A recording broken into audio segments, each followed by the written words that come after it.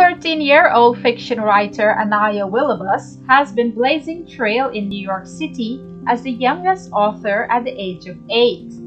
Born to immigrant parents from Guyana, Anaya has been setting trends and bringing fresh ideas, looking at experiences in her personal life to create believable characters and compelling plots to tell stories her readers can relate to and allow them to share in her experiences.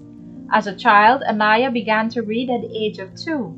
She said reading allowed her to explore other worlds and places only the mind can take you, and she felt inspired and wanted other children her age to enjoy those experiences as much as she did, hence her love for writing.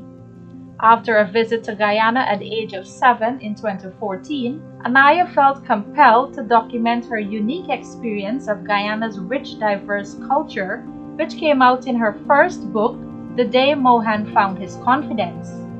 Colette and Mohan used the opportunity to chat. Colette talked about her upcoming family vacation her mother's homeland, Guyana. Colette had a priceless gaze on her face as she described all the things she planned on doing. She barely took a breath as she rattled off her list of activities. Drinking coconut water at the Big Market, eating sugar cane, flying kites at the national park, visiting the zoo, cherry picking. The list seemed endless. Mohan was so inspired by Colette's story that he decided to share one of his. It was a story that his grandmother had told him about a little boy who grew up to be a great role model. He was so poor that he had no shoes, but like many other children in Grandma Cells' village, he did not allow this to be an excuse to miss school. Many years later, the little boy grew up to be a doctor who often visited his hometown and always donated food and clothing to the less fortunate. Mohan proudly stated, My grandmother always encourages me to stay focused and take my education seriously. She said, One day, I will be someone great. Growing up in a West Indian home, Anaya grew fond of listening to stories being told of a homeland she had never seen and it had always piqued her interest from a very young age. Um, so those kinds of ideas in the story come from both the stories that my parents and my grandma have told me, um, and also from going there and getting to see the different things. Like I mentioned, drinking coconut water at Big Market, that's one of the things that I got to do. Or I heard stories like the one about the doctor, um, and those are stories based on stories that I heard. Um, about people that went out of their communities and they did something great despite the circumstances. Upon her return from Guyana to her Brooklyn home where she resides with her mother Dimple Willabus, her father and two other siblings, she began to put pen on paper and wrote about her experiences through her character's eyes. Um, well, since I've always loved reading and writing, one of the things that I've thought about is storytelling. Um, so after taking the notes, I realized that, you know, I had a really a lot of details that I wanted to share and a lot of experiences um, and through writing and through wanting to be able to relate to people and tell those stories, that's when I realized that I could make it into a book. So I started writing them down and I asked my mom to type them up.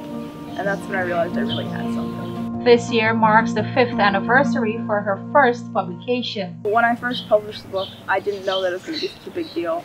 So it's been really inspiring to me as well when kids will come up to me and tell me how much they enjoyed it or how much they could relate to a character. Um, and it's really taught me a lot about myself um, and helped me to improve as a person. Since 2015, Anaya has continued to immerse herself in her reading and writing. She has written three other books A Bully's Disguise, Chico and the Homework Passes, and Make It Happen. Throughout her books, the readers once following Anaya's writing would see how her writing has evolved. Um, well, that's one of the things that's unique about being a student writer. Um, I'm constantly learning more skills. Um, so you can see, like, as my writing evolves, I start using more dialogue and things like that. Um, but I will go back and I'll read some of my books and I'll be like, well, that should have been different, or I could have added that. Um, but I've left it the way it is because it's also shown how unique it is to be a young writer um, and to still not have learned all of the skills that I will learn eventually.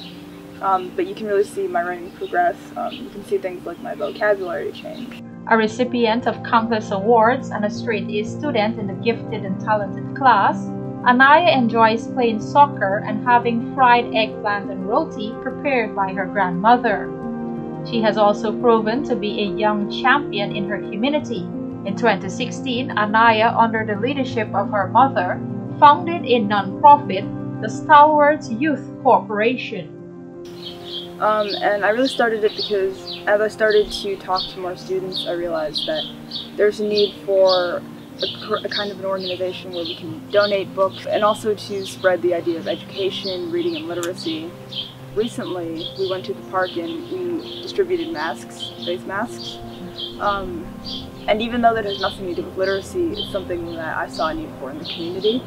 Um, so it's mostly to show youth that you can use your resources to help your community. Anaya also writes for a local newspaper, the Canarsie Courier. But how does the teenager do it all? Well, I mean, it is difficult to balance all these things as a kid, but I also know that I have a lot of like time to do all these things that I want to do. But really, I guess it's a unique part of what I do, and just being able to do something that I love to do, whether it be for an hour every day or an hour every week. Um, it's really nice to be able to share my work. A visionary and a beacon to young people everywhere, Anaya aspires to be an English teacher and said she wants her life's mission to be one of reading, education, and literacy for young people everywhere. I'd encourage people um, to continue reading, um, use books as um, you know the window into other people's experiences. Um, use them for the things that they can teach you, for the experiences that you can have through them. Anaya has a fifth book soon to be published on her personal identity and cultural diversity. With this report for the Guyanese Diaspora News, I'm Jennifer Javar.